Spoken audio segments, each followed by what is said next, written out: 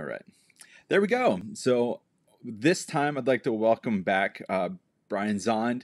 It's a privilege every time to uh, get a chance to hear from you or to talk to you. So thank you so much.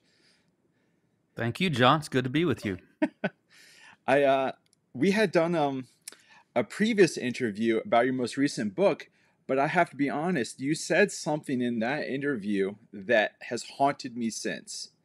Kind of two comments, and uh, I would love to hear you riff on these things. To be honest, first was uh, David Bentley Hart asking when will Christianity come to America, which has been honestly uh, a content of my journal a lot since then. But then second was you made a comment about how it seems to be very difficult for America to produce saints.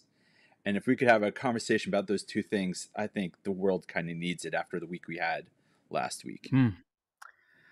Yeah, and these questions, you know, I'll be honest with you, John. I do a ton of these podcasts. I mean, that's just the truth.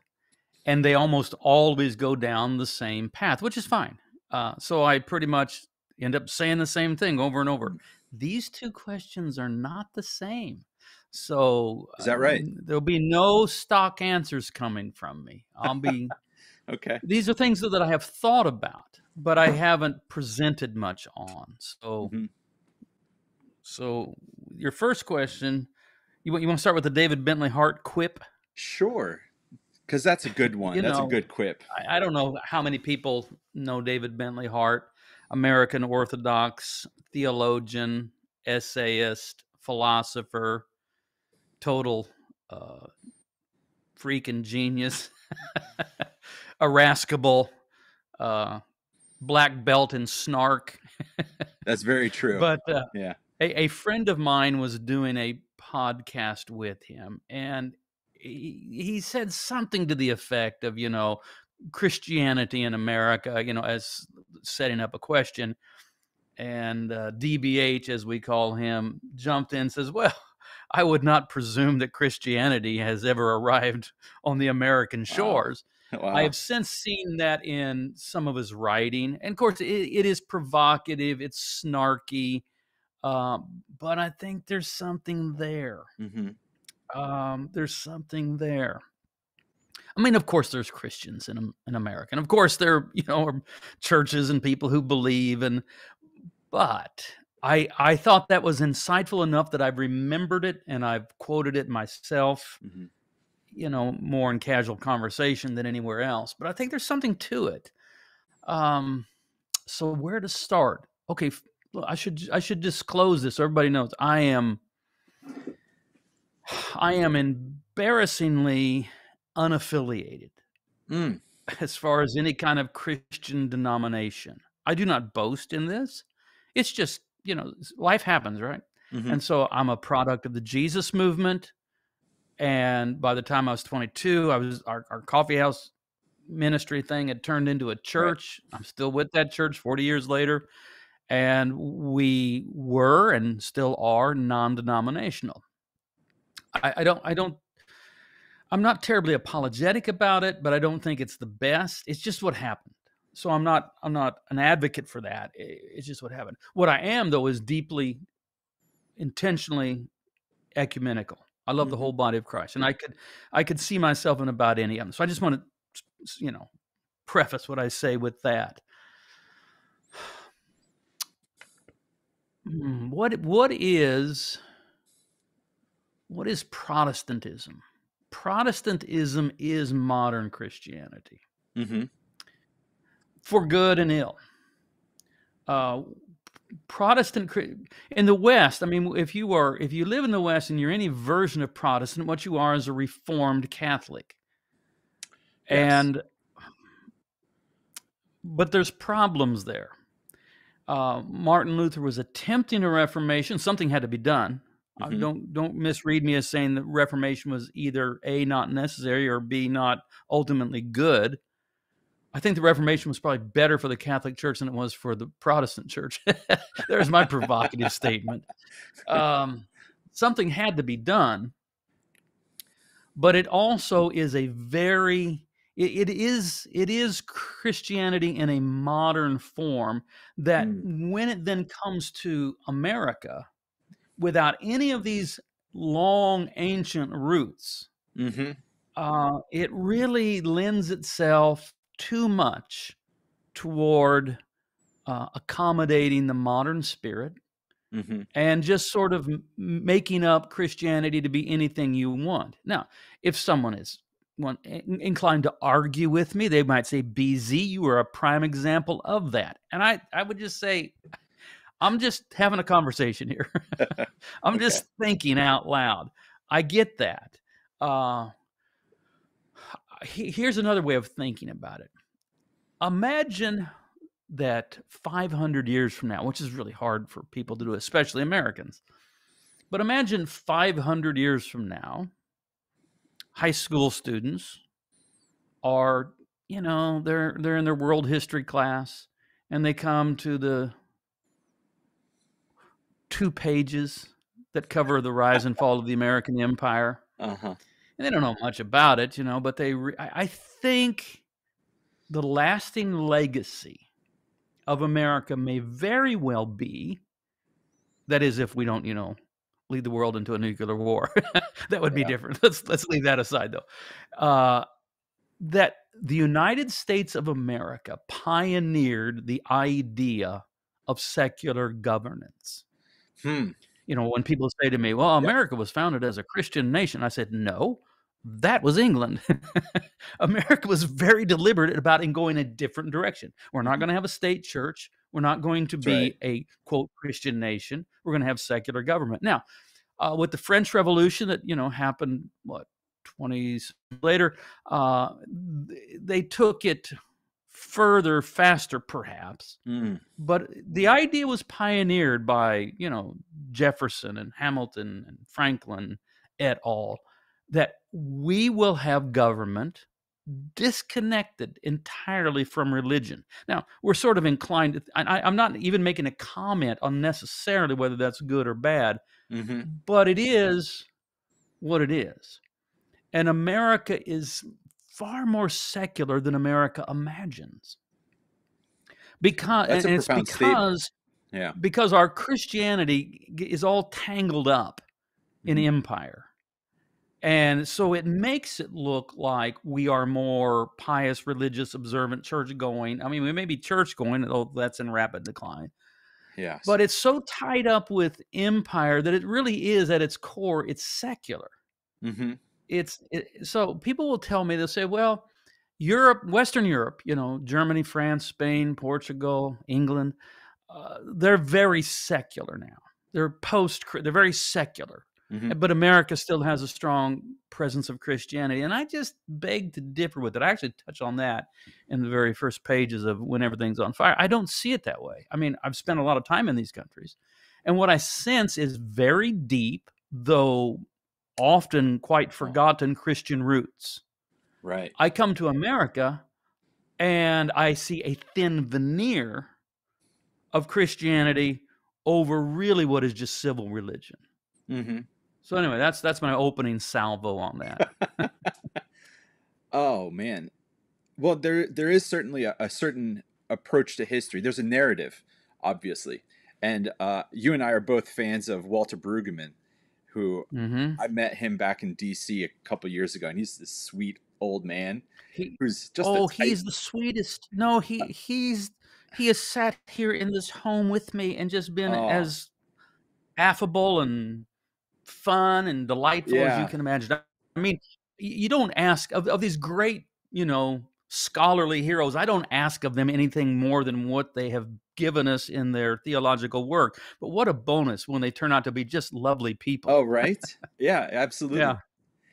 I, but in his book, the um, prophetic imagination talks about the importance Mm-hmm. of narrative and how the way that you talk about the story of what we've all gone through or the history, whether it's the uh, royal narrative, which is the narrative of the government Right. or the narrative of the prophets, it's just profound. But as I'm thinking about some of what you said,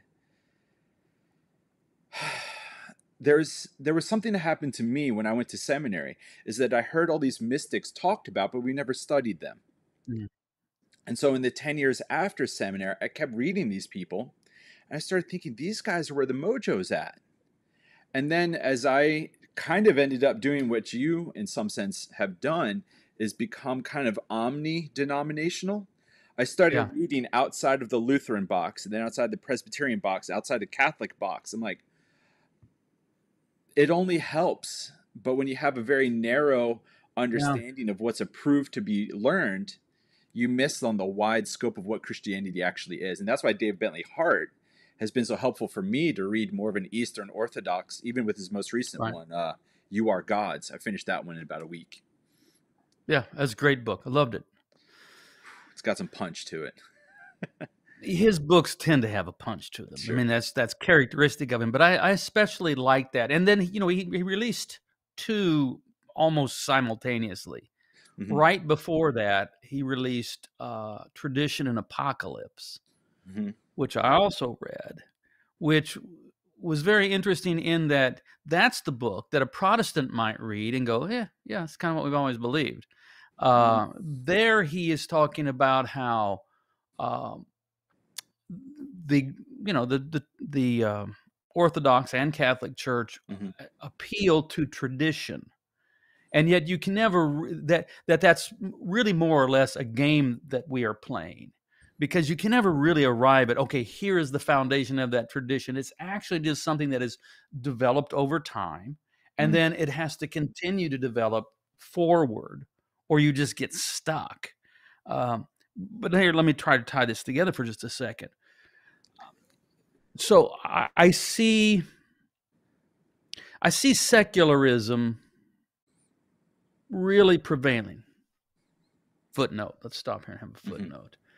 Ivan illich he said oh stop with this talk of a secular we're not in a secular age uh, the whole thing that drives secular progressivism is simply christianity but not admitted to be so and in some ways the secular critique of christianity is that it is not christian enough Gotcha. I mean, Yeah. it, it, as as as a secular critic would attack the church, they will use values that they inherited from Christianity unwittingly. They don't really know that's what they're doing.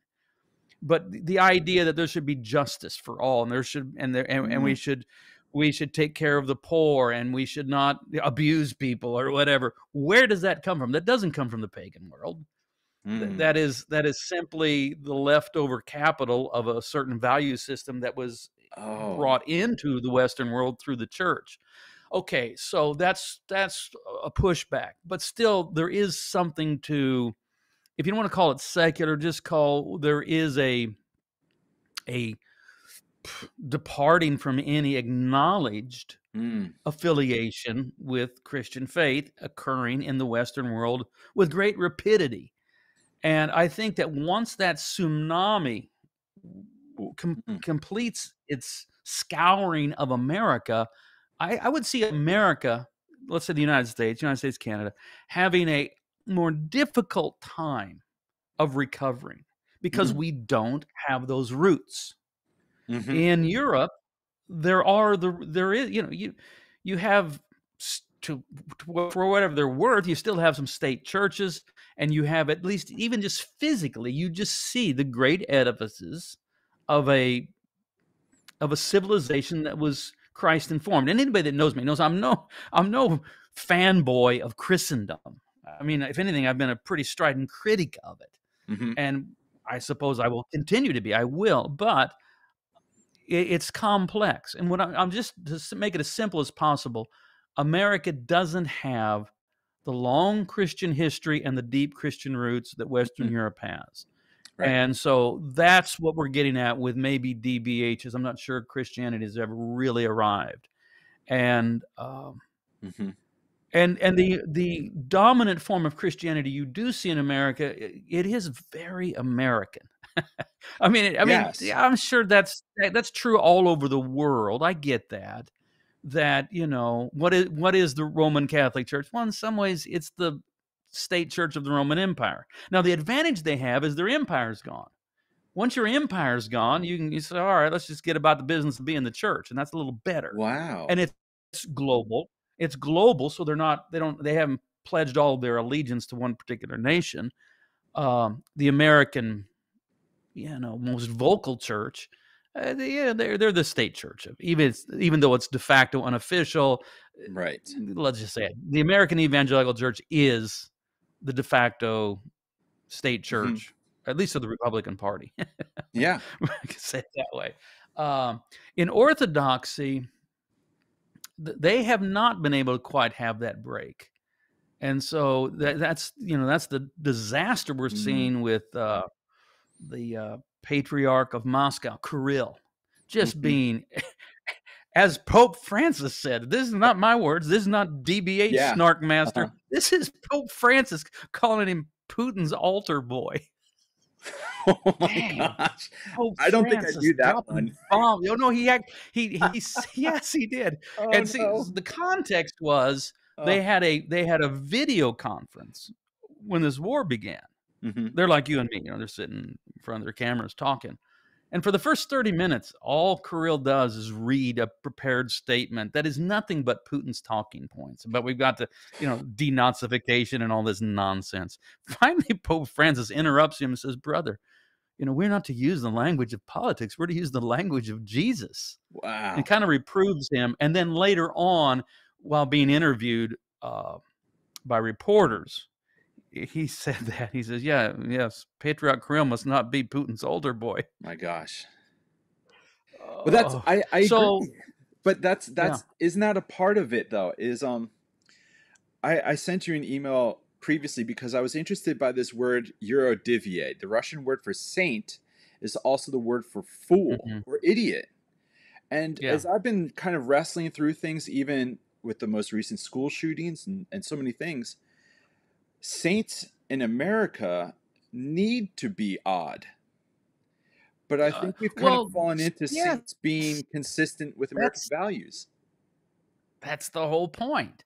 Is that you know there? What about fools for Christ? Yes. I mean, that's you know that's Russia has a the Russian Orthodox Church has this long history of holy fools, and it's kind of hard to explain. You just need to meet them in some novels or something. Mhm. But they are people who are odd, out of step, that you could at first easily dismiss as just being some sort of weirdo, but then all ever so often they'll say something that's like, whoa, wait, wait, wait, wait, where did that come from? Yeah. that, that is very it's, it's a word this is a phrase from brueggemann a word from elsewhere yes. that seems to have particular resonance and you know prophetic punch um america i mean what saints have we produced i, I don't mean i'm not asking i'm not asking for you know technical they made Right. it into the hall of fame i mean you know that that people go yes that's a saint that's a saint you know there's there's thomas merton maybe you know Dorothy Day. don't- saint certainly a mystic Yeah. uh, you know, the Thomas Merton. But he, but let's remember, Thomas Merton wasn't born and raised in America. He ended up here, but he wasn't right. born and raised in America. Right. Um, you know, then there's kind of like the Catholic justice saints. You Mm-hmm. know, Dorothy Day and some people like that. But there's just not many. You know, Wendell Berry, we might think of in some ways, or at Mhm. least more of a kind of a mystical prophet bringing a word from elsewhere. But we just don't have it just doesn't seem like this is fertile soil for Mm. producing the kind of people whose voices can be well heard and generally well respected uh, Oh. because it's got it's got to sell in America, right? It- It's got to sell because we're all America is more than any nation in the history of the earth commerce driven. Everybody knows that. That's not news. I mean, yes, every nation has commerce motives, and but but America's, you know, we're we're we are the champions of that, Right. and um, and and that's one of the critiques I would make of the American church. It's very commercial, Hmm. And Yeah. man, a, a commercial Christianity is not going to produce very many saints. It, it can produce a lot of adherents, and um, and and it can it can spread its brand globally, and that's happening, you know. But it, it doesn't produce the kind of people who right who are known for their mystical writings and their deep spiritual insight. I mean, we don't have, we're not going to, I don't see America having a Julian of Norwich, you know, Hmm. that is known very soon. which we just Right. had her feast day about a week and a half ago Yeah. there was um I didn't know that. It, uh, is that, um, on, there's- on whose calendar is that? there's one on the 8th and there's another one on the 13th because the lutherans like her but then eastern orthodox and their others like it on the 13th um Hmm. which yeah grab a hazelnut if you can in celebration of her but as i you was know, my, my, my calendar, I mean, I, I'm not an Anglican, but that's what I pay the most attention to, but I don't think she's on. I mean, how do the Anglicans not have Julian Norwich? Like, you know, oh yeah that's a great question that should right? be like their biggest deal. I Yeah, mean, right. she's one of them.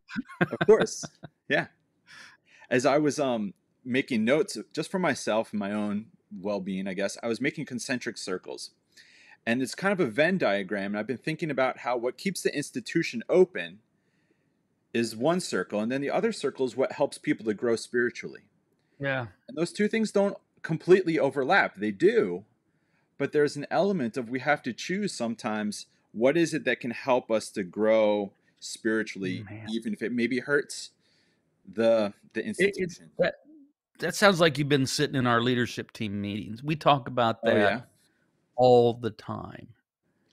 That you know, I don't know if you're familiar with. Uh, well, it's made popular by Richard Rohr, but I don't. It, I think it's. I don't think it's original with him. Might be. I don't know. I'm not sure where it came from. I, I do know, but I've forgotten. Uh, first half and second half of life.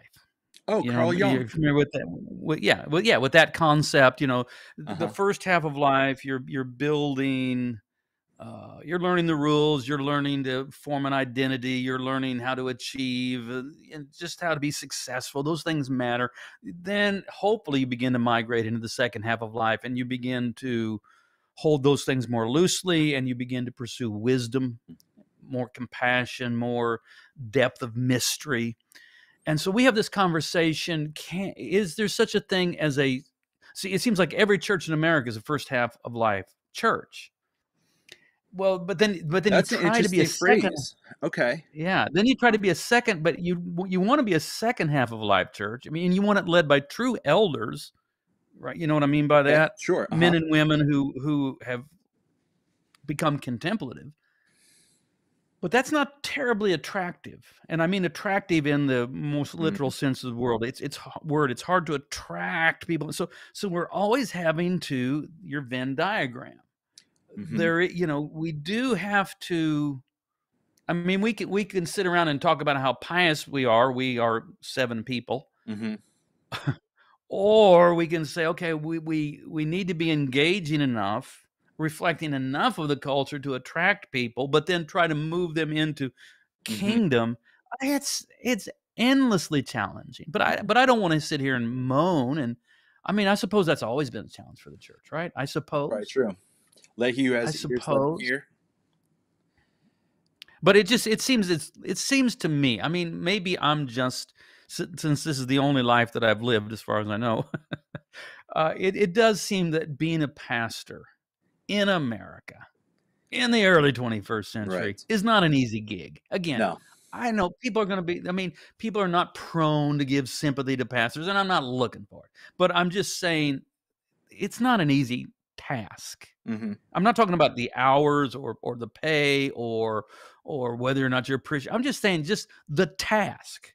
Make disciples out of contemporary Americans. It's a hard oh job my gosh yeah because because they're already they're already thoroughly discipled. All of us, I mean, I'll include myself too. We're already thoroughly discipled into a rival religion called America wow that we don't even recognize most of the time as a religion. hmm And so Right. that's one of our real challenges. And uh, I mean, that goes back to the original meaning of the word religion. If it actually does come from religio or religere, meaning to rebind, Right. what holds you together. America definitely has a philosophy that says this will hold your life together. And it's not really Orthodox Christianity that's being taught. Commonplace, I guess, is the thing that holds people together. I'm, I'm fascinated with, though, with Jesus, he doesn't ever seem to force people to grow, but he always invites them to do so. Yeah. Because there's something about the forcibleness. And that, that was actually one of my difficulties in my previous life doing youth ministry is like I can only invite the kids to grow in their own Right. faith. I can only invite that. It's very difficult to make anyone become a, a believer before they're 18 and graduate to college. But I feel like Jesus set that model of just constantly throwing out the fishing nets, just constantly inviting. Yeah. I, I have a I have a story about that. You know, I've been the pastor of one church for 40 years, one congregation. And I remember pretty early on, you know, this is probably within the first 10 years. I remember being frustrated because the church was small enough. I pretty much knew everybody Mhm. and I could have a lot of, you know, I could just work with everybody's sort, of like. And I I would but in some people, you know, I some people would seem like they were enthusiastic about Jesus and they're beginning to grow, and I would kind of just leave them alone. Say, okay, they're they're doing good, they're okay. And I was putting my effort into the people that that seemed bored, mostly uninterested. They're just kind of on the periphery. And I was praying about it one day, and and I I remember that that passage of scripture where Jesus says, "I only do what I see the Father doing," and I felt like Jesus spoke to Huh. me and said and said you know thus and so th- these people here. Do you see me doing much in their life? And i say uh, honestly no. He said well then don't don't spend your time there. Wow. where you see that i'm actually doing something in someone's life go there and so i mean of course that you could pit that against you know they, we leave the 99 to go find the one i get that Right. uh, but i'm just trying to uh, affirm your point Mm. that we we lead by inspiration almost i mean entirely i mean we we don't have i mean whether it's good or bad i don't know i mean i could argue both sides a, a, a church structure where you know some of the leadership actually has in some ways some authority right Mm. i mean uh, we don't. I mean i can't make anybody That's do anything. I don't i don't have any coercive means and all in all i think that's really good. Uh Yeah. so uh, i can i can only lead by inspiration. That is they they want to they're attracted to what of christ they see in my life and want to be around that and want to emulate some of that that's the only way we can lead it's we we have no hmm coercive methods at all when that, that's good Right. Because as soon as that does happen, it makes for a very unhealthy, toxic environment. And of course, people use the word toxic. and then you got to have a reformation yeah then you got to have a reformation right. yeah I um I was fascinated as my God I, everything that happened last week with the school Yeah. shooting, but then also SBC and how it reported on a lot of abuse. And my mind actually went to Dorothy Day, who talked about how our problems stem from our acceptance of this filthy, rotten system. Hmm. And Dorothy Day, she she had a punchiness to her as well. oh yeah but yeah man, she was a prophet she was a prophet well look you know i've really traveled the world i've been all over and eh, not so much in the last couple of years but even even the last couple of years i've been overseas a couple of times but um that's the question that that people outside of america sincerely have and sincerely don't understand there's you know america eh, first of all people outside of america know america i mean we're we're famous that's right. Mhm. and because our because because our culture is everywhere. And there's two things they don't understand about America. They don't understand our healthcare system, Mhm. and they don't understand our guns. And I can kind of I don't agree with it, but I can I can kind of explain to them what's happened with our healthcare system. I, the gun thing is something I've thought about for Mm. decades. It's not a new topic for me.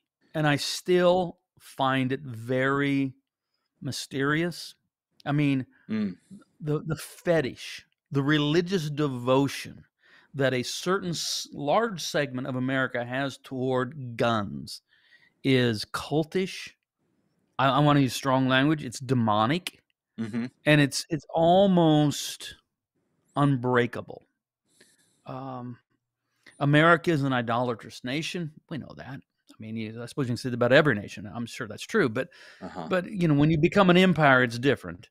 When you're a superpower, it's different. When you're global, it's different. America is an idolatrous nation. We have many gods, but the cult of the gun is the most fanatical, most devoted cult we have in Right. America. And Mhm. I can't fully explain it. I mean, it would take, I don't know who it would take. It would take, uh, I don't know, it, does it take a sociologist, a psychologist, a theologian, a historian? Probably takes all of that all of that. to explain how we've arrived at this point where what I don't know what the percentage is, where a certain percentage of people in America actually belong to a cult that worships the ideal, the myth Hmm. of redemptive violence through guns. And it, it's on the other hand, I, I said that. On the other hand, you just some of it's just plain politics with the NRA, which is not what it, you know, it, it's not an advocacy group; it's a gun lobby. Mhm. and you know if, if i think you know this i don't have the statistics in front of me and it doesn't matter uh, you know there's people tell me that something like 90% of americans think you know yeah you probably should have a background check before you can go buy these things i mean there, there, there's all kinds of things that could be done but one party's completely completely controlled by a gun lobby. Hmm. and it's it would be it's you know I, I talk about it on social media i you know people know what i believe about it. And it's and by the way my opinion on guns hasn't changed in how old am i? It hasn't changed in 50 years. I mean i've never been on board with that. I mean i Uh-huh. spent a good long while in the in the stream of you know the religious right and all that sort of stuff but i was never on board with the nutty gun and, and that's gotten worse too i mean there wasn't a ba- there was a ban on assault rifles That's right. after and then after reagan was shot in happenings after it was expired that law. it, it had a 10 year it had an expiration date it was the brady bill is that thing Mhm. and and uh president bush the second one i think i don't know if it was the first or second one Mm. didn't renew it and whatever i don't want to talk politics but um Okay. yeah I, but uh, yeah it's uh, i i i don't know what words to use i mean I, when, Can when I heard it was, it was a week ago today uh, you know we're, we're i was a Yeah, week ago uh-huh, today uh-huh. and and i had been for a walk and i was listening to the brothers karamazov because Oh, yeah. I'm a Mhm. fanatic and I, then I, I got back i had a lovely walk and i i find out uh, the first thing i heard was 14 it turned out to be 19 but the first thing i heard was 14 children shot and killed with it you didn't need to know. You already knew it was an ar-15 of course it was in a school in texas. And i i do i really honestly i don't use profane language. I never use profanity in the pulpit. Never have. I just i, mean uh, Mhm. whatever i just not my style i don't like that. But i immediately just tweeted god damn it. Yeah. when are we going to get these goddamn guns out of the hands of these people? God damn it. And there there were some people you know that were shocked or disappointed in me or pastor you can't talk like that. I said i don't know. Well then what am what am i supposed to say?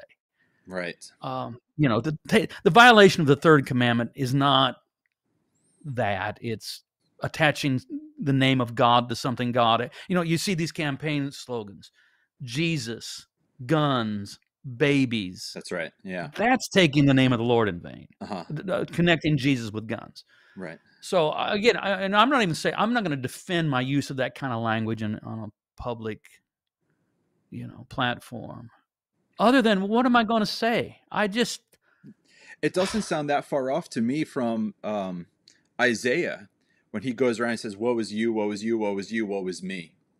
yeah And maybe it's a slightly different phrasing, but the the intensity of the emotion. And uh, we're, we're both fans, I think, of Heschel. He would talk about the Yeah. prophets are the ones that actually feel when everybody else feel, seems numb. They're the ones Right. that almost take the whisper of the pain and put it through a megaphone so that everyone could hear what they've narcotized themselves from being able to hear. But can I share with you a quote that made me think of you? in a good way. okay. Is that uh, Martin Luther? He talks about how if you ever preach without preaching to the issues of the day, then you're not preaching the gospel at all. Mm. And if Mm. I can say anything, you've been a really good example of someone that doesn't seem afraid to talk about whatever's happening that current week or whatever's happening in that season of life. And uh, I just really think that's commendable. That's all. I want to say Thank I you, John. you're doing That- a yeah, that's, that's very kind of you. Thank you. And uh, I mean, obviously, I follow you online, but I think the world needs more people that, um, not necessarily that have to always speak the truth, but at least can feel in front of people publicly what maybe is actually the heart of God in that situation. That's just remarkable. Um, Thank you. let me um let me wrap this up. I just want to say thank you for your time. It's always a privilege to to talk to you, but I watch your services every Sunday. I've read five of your books, but not all of them. I'll I'll admit that, but um yeah, you're a wonderful guy. Thank you. Thank you, John.